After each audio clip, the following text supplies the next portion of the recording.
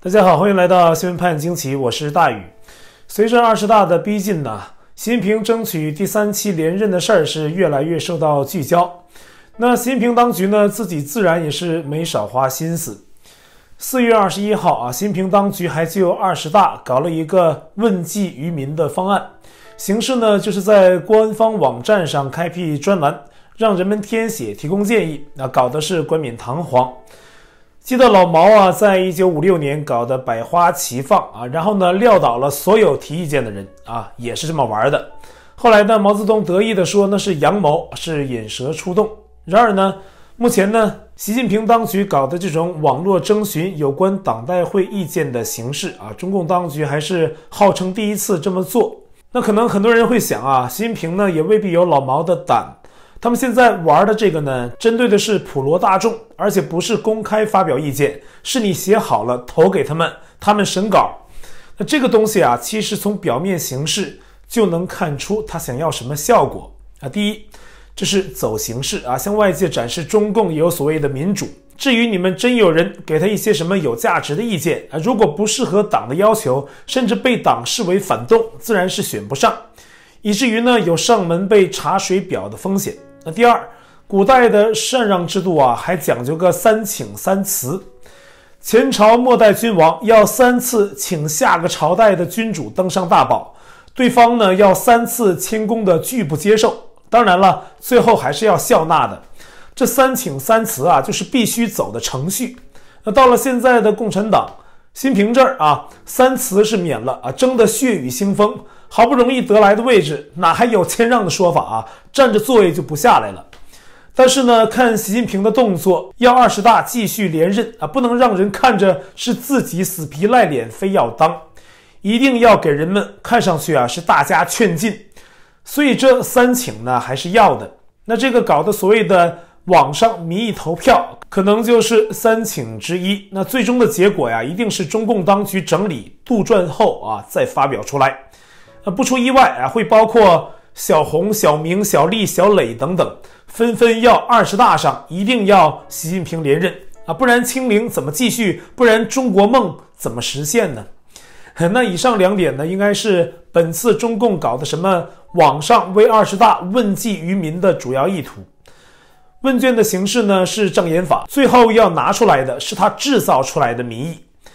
那说到这三请啊，应该还有百官啊。除了中央一级现在偶有暗示啊，就是期待习连任的文件啊，党媒报道出来。那在此之外啊，就在四月二十二号，中共广西自治区的代表会在南宁开了个会，宣布习近平全票当选了广西二十大代表。那当然了，这应该是一种类似于荣誉博士或者是荣誉小学生的虚衔。这属于广西的一个表态，但最亮眼的不在这儿啊，在于广西同时喊出全票选了习近平，这是反映了亿万人民紧跟伟大复兴领航人戳力笃行，那开创更加美好未来的强烈愿望啊！这广西官场啊，是第一个给习近平戴上伟大复兴领航人帽子的。由此呢，我们也可以预见到今年秋天二十大上。中共官场齐呼万岁的惨况啊，不盛况了啊！这些官场的表态呀、民意的什么意见搜集啊等等啊，形势都齐了之后，那么梁家河走出来的那位啊，继续加速，也就有了顺理成章的理由了。那不过呢，这位伟大复兴领航人呐，似乎在近日对美国的喊话中，没有体现出应有的霸气，甚至不如去年。四月二十一号啊，习近平在博鳌论坛开幕式上发表视讯讲话，隔空对美国政府喊话，高傲地喊出了一句跟自己身份极不般配的一句话：“把谁扔下大海都是不可接受的。”那意思呢，就是美国搞的印太战略没中共的事儿，把它当成了敌对势力来孤立和排挤。现在新加坡呀、韩国呀、菲律宾等等都在向美国的印太机制上靠拢。他看出中共的危机所在啊，都在给自己留后路。但是呢，如果是作为要平视世界的强国，那习近平这话呀，不该这么喊，太掉价啊。那应该喊的是呢，美国妄图染指印太事务的做法是徒劳的，美帝要是敢在印太这边动动指头啊，小心我百万大军把你扔下大海喂鱼。这话应该这么说才对嘛啊？结果呢是一副求饶的语气，什么世界各国乘坐在一条命运与共的大船上，把谁扔下大海都是不可接受的。其实呢，扔谁了，就是把中共给扔下去了。习近平接着说了不能扔掉中共的理由啊，还是那句话，就是所谓的人类命运共同体，谁都不能撇下谁。这是典型的共产党对外的口径，他是要死死的啊把自己的衰败命跟全世界捆绑在一起。那实际上恰恰相反，把他扔下大海，全世界才有希望。此外呢，习近平还提到啊，不搞集团政治和阵营对抗啊，这也是谎言。俄乌战争，中共跟俄罗斯在搞集团政治。他说不搞阵营对抗，可是他一直在全世界找小弟一起反美。中共还喊过不要有冷战思维，可是他几十年来呀，对美国及整个西方的渗透、技术盗窃、悄悄发展核武器、扩充军备，完全可以上升到是一种战略对抗的敌对行为，而且是极不光彩的。但是总的来看呢？这次习近平的讲话没有像去年在这同一场会议上讲话的那种同样等级的傲慢啊，没有喊全球治理，也不再喊世界大同，而是强调维护所谓的亚洲和平。然后呢，别把它扔下大海就知足了。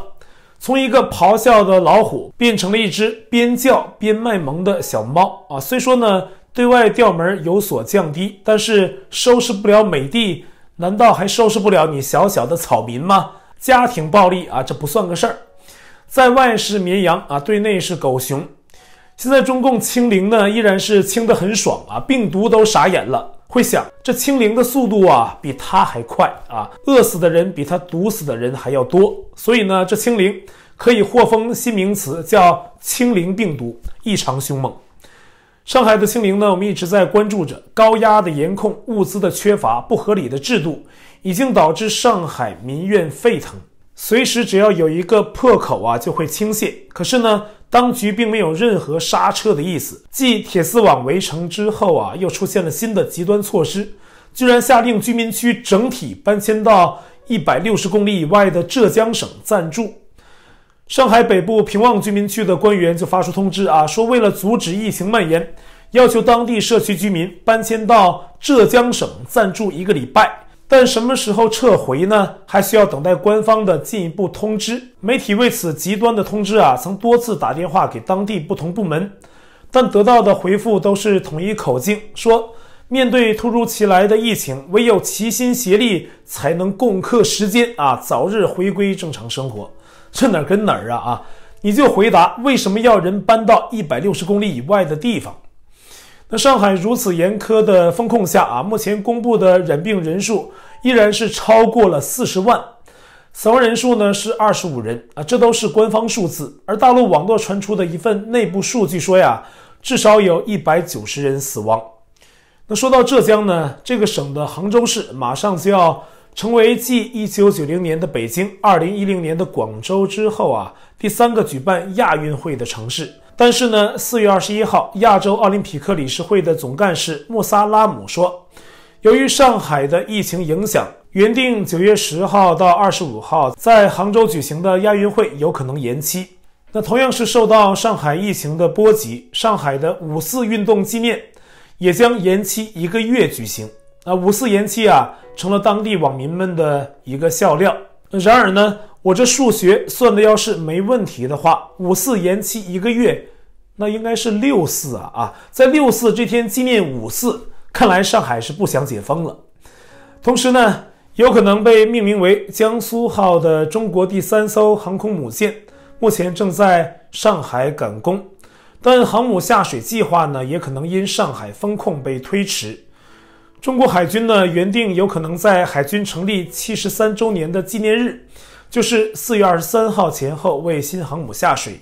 但上海江南造船厂啊，一直处于人手紧缺的状态，很多人被封锁或者被抽调去防疫。那零件呢，也是缺乏供应，所以呢，面临延期。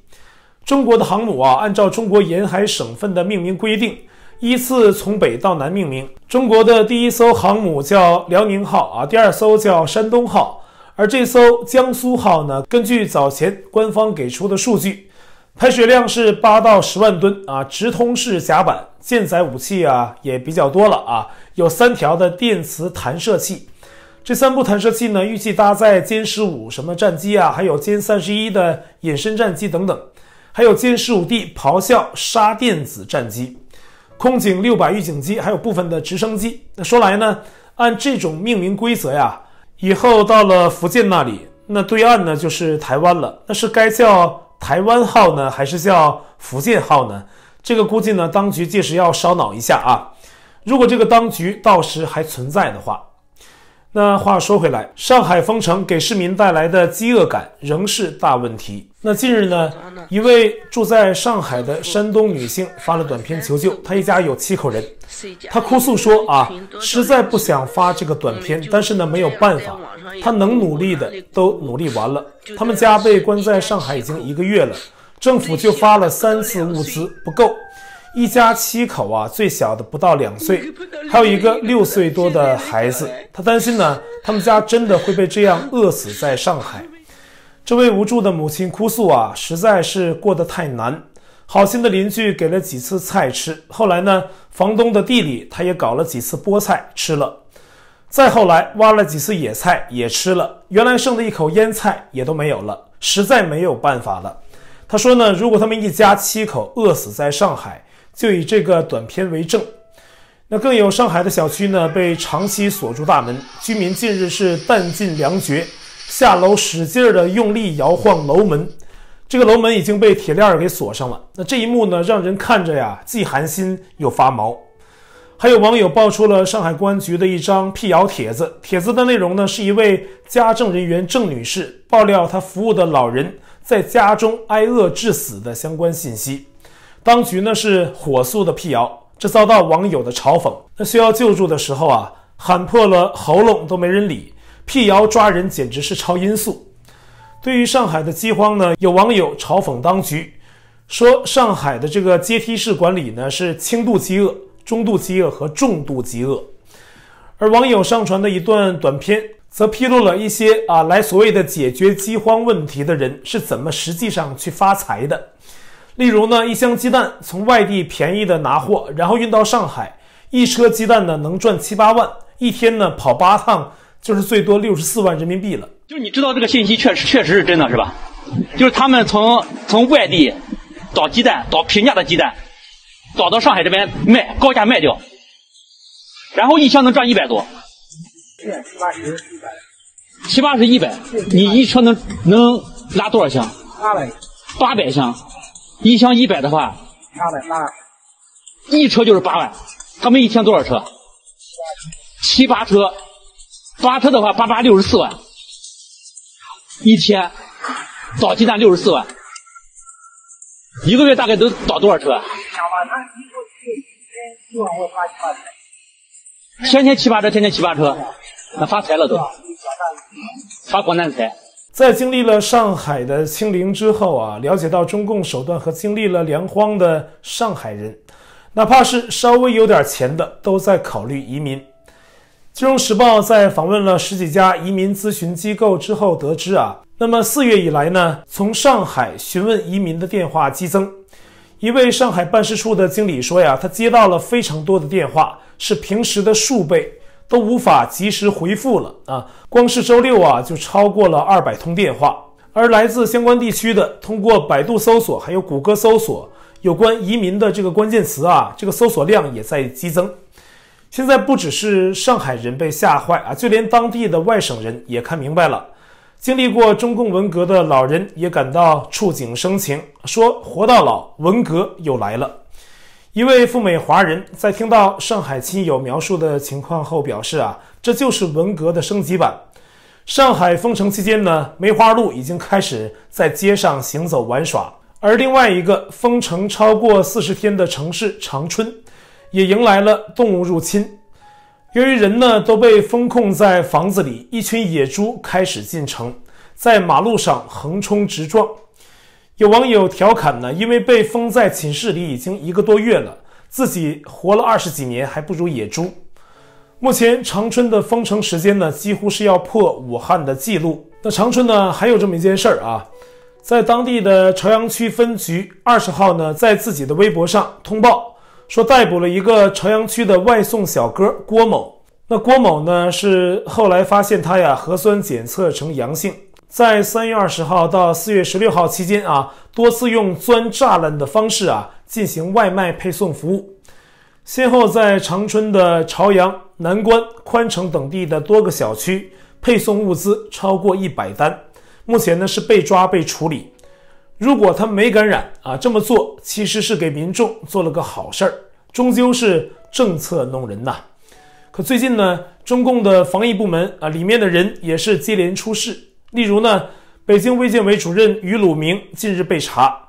随后的第二天，被认为靠着疫情防控发大财的科兴生物公司，其中的一名高官曹小斌突然猝死。由于这名高管呢是中共疾控中心流行病学首席专家吴尊友的学生，在这个特殊的时间点，三者之间是否有什么联系存在啊，成为了网友讨论的一个热点。那曹小斌呢是四月十七号因为抢救无效离世，年仅四十五岁。